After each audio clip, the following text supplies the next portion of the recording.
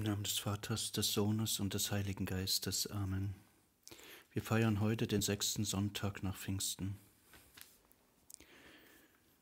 Und die heilige Praxedis vom 21. Juli. Fest der heiligen Praxedis.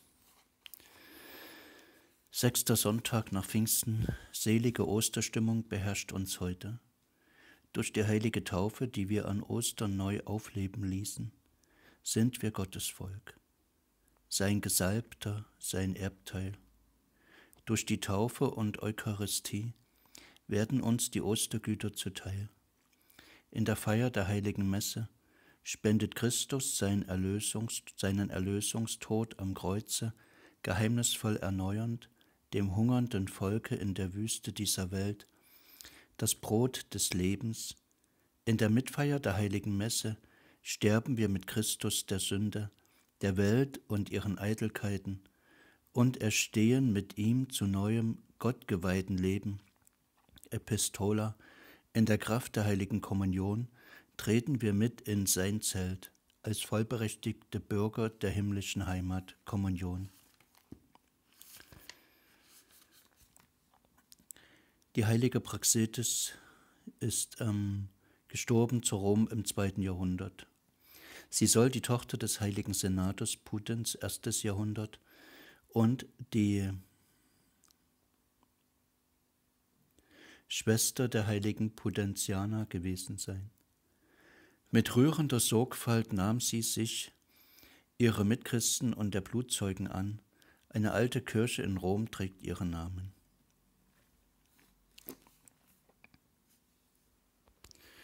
Im Namen des Vaters, des Sohnes und des Heiligen Geistes. Amen. Zum Altare Gottes will ich treten, zu Gott, der mich erfreut von Jugend auf. Schaff Recht mir, Gott, und führe meine Sache gegen ein unheiliges Volk.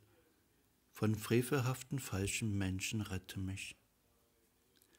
Gott, du bist meine Stärke, warum denn willst du mich verstoßen? Was muss ich traurig gehen, weil mich der Feind bedrängt? Send mir dein Licht und deine Wahrheit, dass sie zu deinem heiligen Berg mich leiten und mich führen in dein Zelt. Dort darf ich zum Altare Gottes treten, zu Gott, der mich erfreut von Jugend auf. Dann will ich dich mit Hafenspiel preisen, Gott mein Gott, wie kannst du da noch trauern, meine Seele, wie mich mit Kummer quälen? Vertrau auf Gott, ich darf ihn wieder preisen. Er bleibt mein Heiland und mein Gott. Ehre sei dem Vater und dem Sohne und dem Heiligen Geiste, wie es war im Anfang, so auch jetzt und alle Zeit und in Ewigkeit. Amen. Zum Altare Gottes will ich treten zu Gott, der mich erfreut von Jugend auf. Unsere Hilfe ist im Namen des Herrn, der Himmel und Erde erschaffen hat. Confitio Deo Omnipotenti, Beate Mariae Semper Virgini, Beato Michaeli Arcangelo, Beato Johanni Baptista, Sanctes Apostoles Petro et Paulo, Omnibus Sanctis et Tipi Pater, quia peccavi nimis cogitatione, verbo et opere, mea culpa, mea culpa, mea maxima culpa. Ideo preco beatam Mariam semper virginem, beatum Michaelem Archangelum, beatum Johannem Baptistam, sanctos apostolos Petrum et Paulum, omnes sanctos et te pater, orare pro me ad Dominum Deum nostrum. Miseriatur vestri omnipotens Deus, et dimissis peccatis vestris, perducat vos ad vitam aeternam. Amen. Indulgentiam absolutionem et remissionem peccatorum, nostrorum, tribu ad nobis omnipotens et misericors Dominus. Amen. Deus tu conversus vivificabis nos, et plebstua letabitur in Ost ente nobis Domine misericordiam tuam, et salutare tuum da nobis. Domine exaudi oratione mea, et clamor meus a te veniat. Dominus vobiscum, et cum spiritu tuo. Oremus, lasset uns beten. Herr, wir bitten dich, nimm unsere Sünden von uns weg und lass uns mit reiner Seele ins Allerheiligste eingehen. Wenn der Priester aus Ehrfurcht für die im Altar eingeschlossenen Reliquien küsst, so spricht man mit ihm, Herr, wir bitten dich, durch die Verdienste deiner Heiligen, deren Reliquien hier ruhen, verzeih mir alle Sünden, verzeih mir gnädig alle Sünden, sowie alle Heiligen, verzeih mir gnädig alle Sünden. Amen. Introitus. Der Herr ist seines Volkes Stärke und seines Gesalbten rettender Beschützer. Errette, Herr, dein Volk, segne dein Eigentum, sei du in Ewigkeit im Lenker. O Herr, ich ruf zu dir, mein Gott, o wende dich nicht dumm von mir hinweg. Denn bleibst du stumm für mich, so gleich ich jenen, die ins Grab hinuntersteigen. Der Herr ist seines Volkes Stärke und seines Gesalbten rettender Beschützer. Errette, Herr, dein Volk, segne dein Eigentum, sei du in Ewigkeit im Lenker. Ehre sei dem Vater und dem Sohne und dem Heiligen Geiste, wie es war am Anfang, so auch jetzt und alle Zeit und in Ewigkeit. Amen. Kyrie eleison.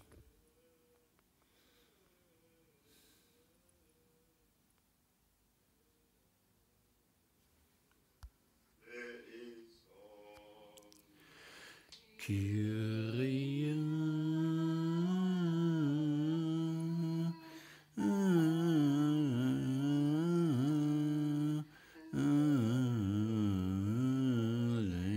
eleison. Kyrie eleison.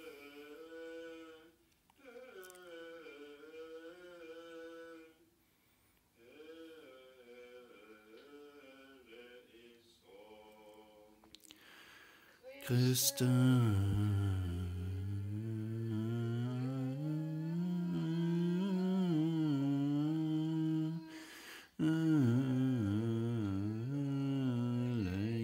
eleison.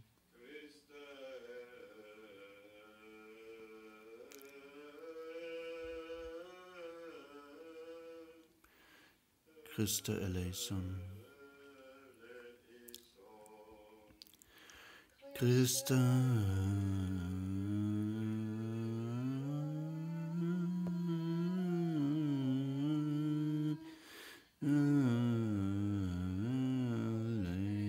eleison. Kyrie eleison.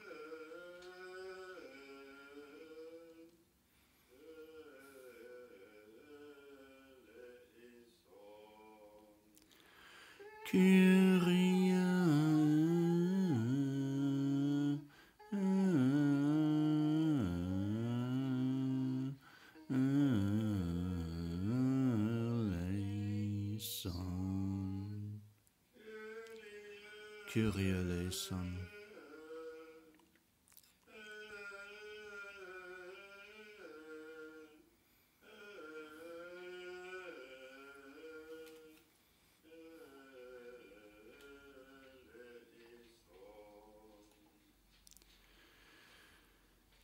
Kyrie eleison. Gloria in excelsis Deo et in terra pax hominibus.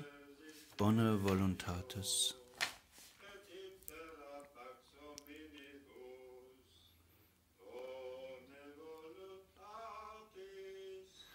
Laudamus te. Benedicimus te. Adoramus te. Glorificamus te. Gratias agimus tibi, propter magnam gloriam tuam.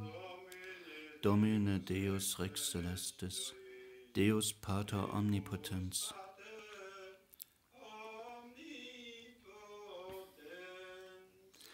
Domine Fili Unigenita, Jesu Christa. Domine Deus, Agnus Dei, Filius Patris. Qui tollis peccata mundi, miserere nobis. Qui peccata mundi, suscipe deprecationem nostrum.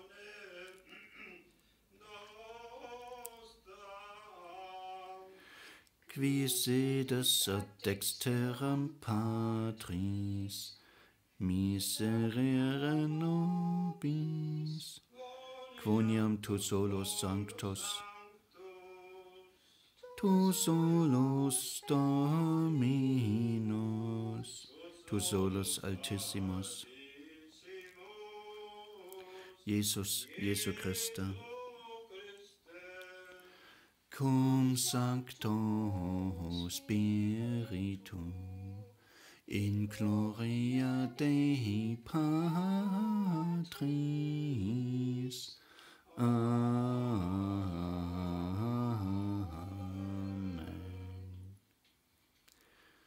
Dominus vobiscum et cum spiritu tuum oratio Gott der Herrscherin, in dir ist ganz und gar die Fülle des Guten. So pflanze unseren Herzen die Liebe zu deinem Namen ein und gib uns Wachstum im religiösen Leben. Lass das Gute erstarken und bewahre mit eifriger Vatergüte das Erstarkte durch uns. Zweite und dritte Seite 612.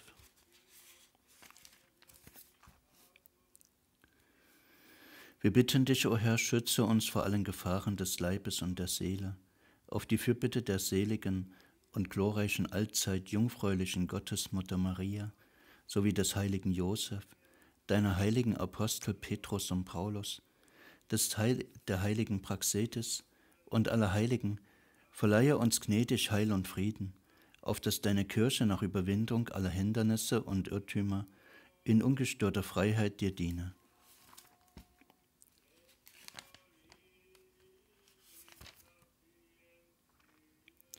Erhöre uns, o oh Gott, unser Heil, und wie wir uns des Festes deiner heiligen Jungfrau Praxetis freuen, so lass uns auch in der Gesinnung kindlicher Hingabe geschult werden.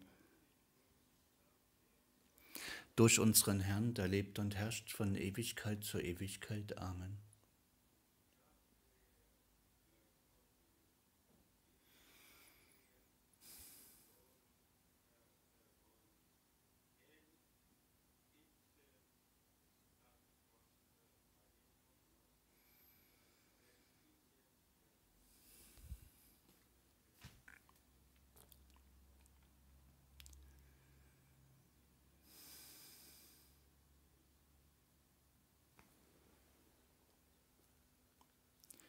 Lectio.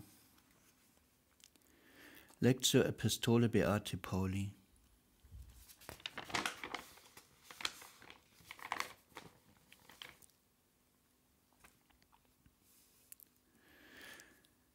Brüder. Lectio Epistole Beati Pauli Apostoli ad Romanus. Brüder, wir alle, die wir auf Christus Jesus getauft sind, sind auf seinen Tod getauft. Denn durch die Taufe sind wir mit ihm im Tode begraben. Wie aber Christus durch die Herrlichkeit des Vaters von den Toten auferstanden ist, so sollen auch wir in einem neuen Leben wandeln. Wenn wir nämlich eingepflanzt worden sind in die Ähnlichkeit mit seinem Tode, wird es auch mit der Auferstehung so sein. Wir wissen, dass unser alter Mensch mitgekreuzigt worden ist, damit der Leib der Sünde, der alte sündhafte Adam, zerstört werde und wir nicht mehr der Sünde dienen, Denn wer durch die Taufe mit Christus gestorben ist, ist gerechtfertigt und getrennt von der Sünde. Wir glauben aber, wenn wir mit Christus gestorben sind, werden wir auch mit Christus leben.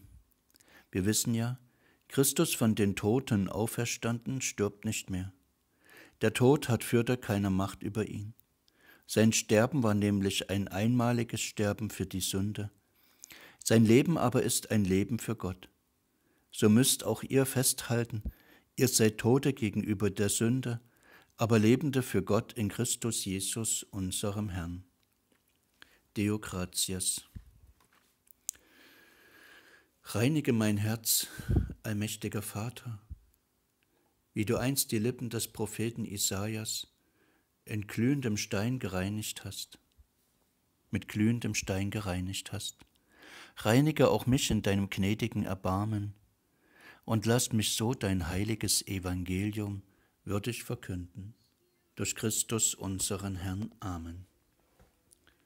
Dominus vobiscum, et cum spiritu tuo. Sequentia Sancti Evangelii secundum Graduale. Ein wenig nur, Herr, wende dich uns zu. Lass dich erbitten über deine Knechte.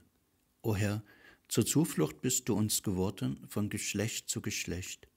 Halleluja, Halleluja. Auf dich, o Herr, vertraue ich. Ich werde nicht enttäuscht in alle Ewigkeit. Du bist gerecht, darum befreie und errette mich. Neige zu mir dein Ohr und eile, mich zu retten. Halleluja.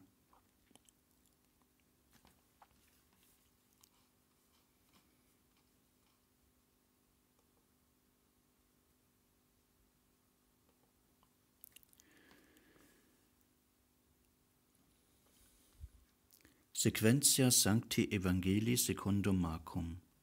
Gloria tibi Domine. In jenen Tagen war eine große Volksmenge bei Jesus und sie hatten nichts zu essen. Da rief er seine Jünger zu sich und sprach zu ihnen, mich erbarmt des Volkes. Schon drei Tage harren sie bei mir aus und haben nichts zu essen. Wenn ich sie hungrig nach Hause gehen lasse, so werden sie auf dem Wege erliegen. Denn manche von ihnen sind weit hergekommen. Da antworteten ihm seine Jünger, Woher soll man hier in der Wüste Brot bekommen, sie zu sättigen? Er fragte sie, Wie viel Brot, habt ihr? Sie sagten sieben. Da befahl er dem Volk, es solle sich auf die Erde lagern. Dann nahm er die sieben Brote, dankte, brach sie und gab sie seinen Jüngern zum Austeilen. Und sie verteilten sie an das Volk. Auch hatte man einige Fischlein. Er segnete sie gleichfalls und ließ sie austeilen. Die Leute aßen und wurden satt und von den übrig gebliebenen Stücklein sammelte man noch sieben Körbe voll. Es, war, es waren aber derer, die gegessen hatten, bei viertausend. Darauf entließ er sie. Laus tibi Christi. Durch die Worte des Evangeliums mögen getilgt werden unsere Sünden. Amen.